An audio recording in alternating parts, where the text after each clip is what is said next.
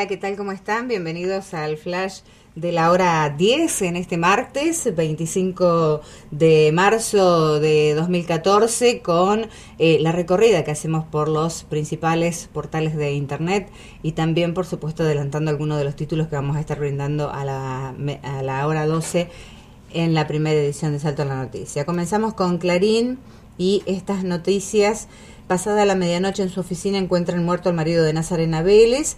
Se trata de Fabián Rodríguez, dedicado como la actriz a la producción de espectáculos. El inmenso dolor de la hija de Nazarena y la hermana de Fabián Rodríguez. Los últimos llamados, eh, los últimos y llamativos tweets del empresario.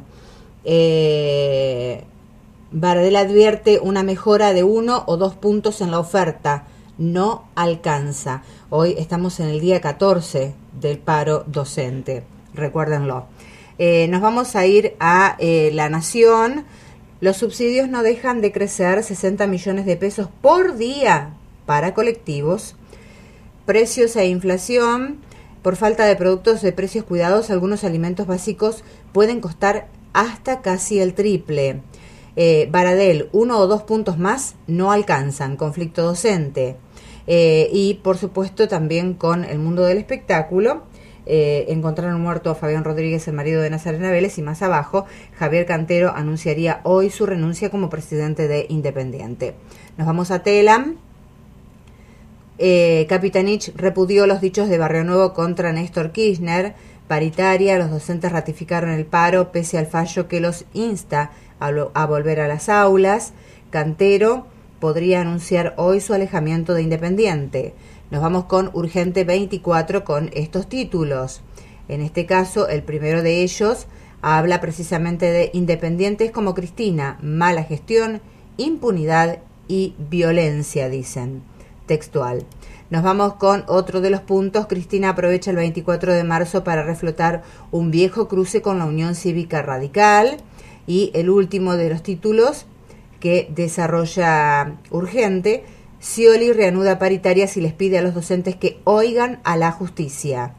Nos vamos con los medios locales, bacheo y mantenimiento en arterias de asfalto, dice Salto en Red, fin de semana en Plaza San Martín y en la Diagonal con los actos de la memoria.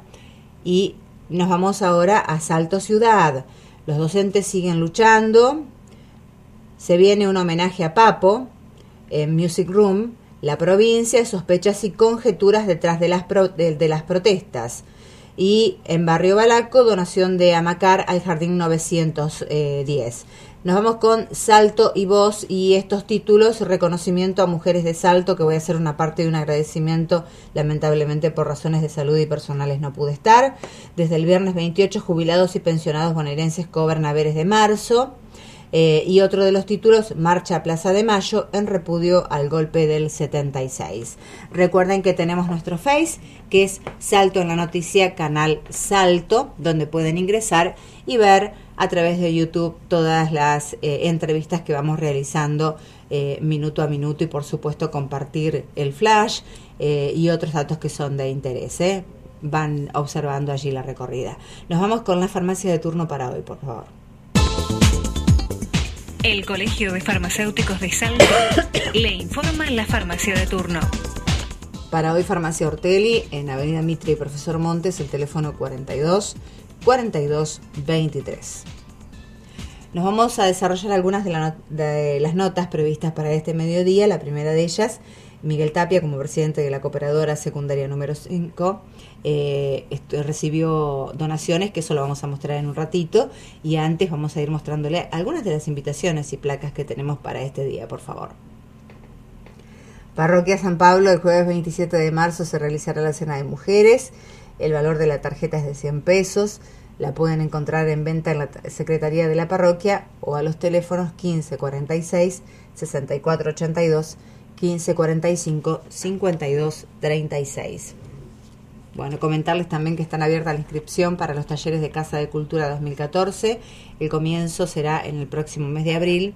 Algunos de ellos eh, tango, folclore, teatro, plástica, danzas clásicas, canto y vocalización, taller, eh, perdón, telar aborigen, telar de mesa y de eh, cuadro, cerámica eh, de rescate, acrobacias en tela, macramé, soguería, fotografía, platería, yoga, entre otros.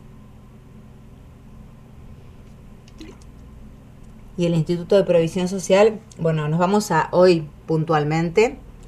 Eh, los beneficios con, eh, cobrarán hoy quienes culminen su documentación en 1, 2 y 3 y el martes con 4, 5, 6 y el jueves lo harán eh, 7, 8 y 9, así que téngalo en cuenta.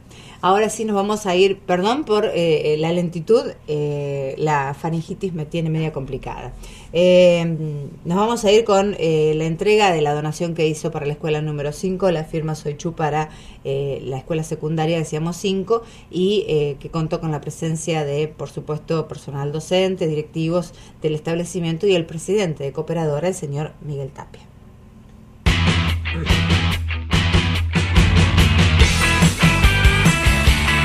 Buenos días. Eh, en primer lugar, agradecer a Canal 6 porque nos da el espacio de mostrar todo lo que la cooperadora de una escuela hace, pero también aprovechar la oportunidad, eh, agradecer al frigorífico de ABC por la donación de la pintura para la escuela en nombre de la cooperadora, de maestros, de alumnos y de padres. Agradecer enormemente a una empresa que está creo que ocupando un rol del Estado. Y cuando digo un rol del Estado, digo Estado municipal, Estado provincial y nacional. ¿Por qué? Porque realmente las escuelas tendrían que estar pintadas como corresponde, pero bueno, en este caso siempre como cooperadora y, y con los chicos tenemos que salir a, a buscar la respuesta a las empresas de salto. Y en este caso agradecerle, agradecerle a una empresa y a los trabajadores en general por la colaboración, por haber donado las latas de pintura que necesitamos para pintar la escuela. Bueno, nos vamos con otro de los adelantos, en este caso eh, de la Fundación Compartiendo Sueños, que está abierta la inscripción también para sus talleres. Estuvimos dialogando con Liliana Herrera y con la señora Susana Gómez.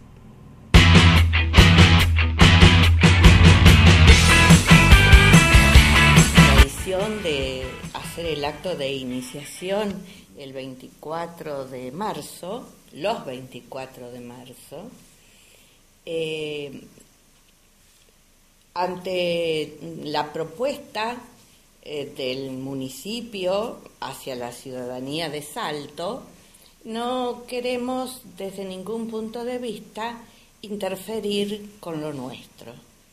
Entonces, pero tampoco queremos dejar de recordar que esta fundación, de la cual yo no, formaba parte, Compartiendo Sueños, nació un 24 de marzo hace, hace ocho años.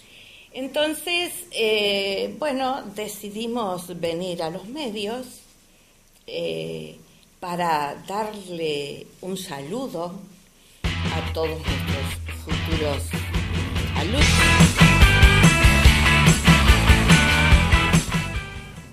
bueno, el último de estos adelantos de esta jornada tiene que ver con eh, el material que cubríamos ayer en el acto por la memoria, la verdad y la justicia y la apreciación y la opinión, la reflexión que hacía el secretario de gobierno, el doctor Alberto Pérez.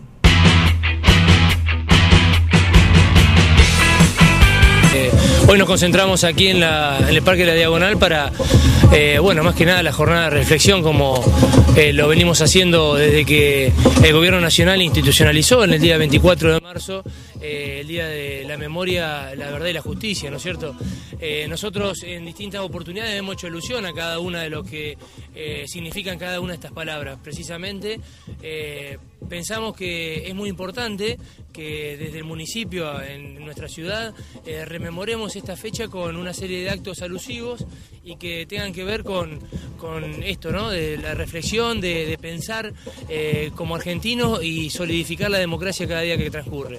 Eh, desde la Intendencia, el Intendente, por supuesto, la directiva han sido que el programa contenga un un contenido precisamente este, rememorativo y, este, bueno, haciendo a que los saltenses reflexionemos acerca de lo que fue este, esta dictadura cívico-militar que realmente este, bueno, nos tiene que hacer reflexionar todos los días.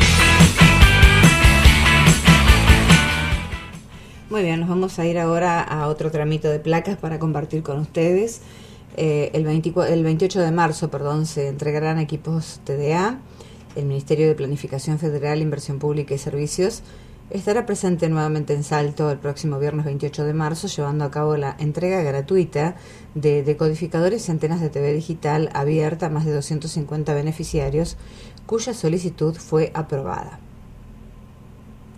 nos vamos a ir a eh, los cursos que ofrece el Centro de Formación Profesional 401 de nuestra ciudad, porque se encuentra abierta la inscripción para cursos tales como, algunos de ellos, auxiliar de familia especializado en adultos mayores, eh, con inicio en marzo y finalización en diciembre, albañil en construcciones tradicionales, también inicio en marzo, finalización en diciembre, electricista instalador, inicia en marzo, finaliza en diciembre, y cursos cuatrimestrales y semestrales. Para más información se pueden acercarse a la EP número 3, Avenida Mitre y Vieites.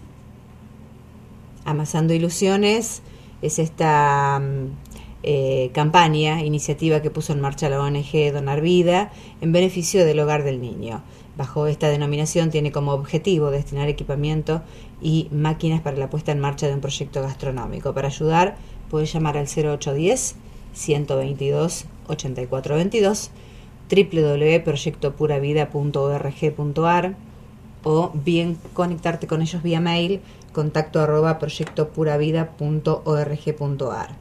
Eh, nos vamos a ir a actualizar datos del tiempo para esta hora en nuestra ciudad. Estamos con una temperatura de unos 21 grados, parcialmente nublado, sensación térmica también de 21 grados, humedad alta, 70%, vientos del sector este eh, soplando a 13 kilómetros por hora. Para la hora 16, parcialmente nublado, 25 grados de eh, temperatura. Los vientos también del sector eh, este-sudeste a 16 kilómetros por hora. tenemos frase del día. La paz no es algo que deseas, es algo que creas, algo que haces, algo que eres y algo que regalas. John Lennon. Con esta frase nos despedimos hasta la hora 12. Hasta luego.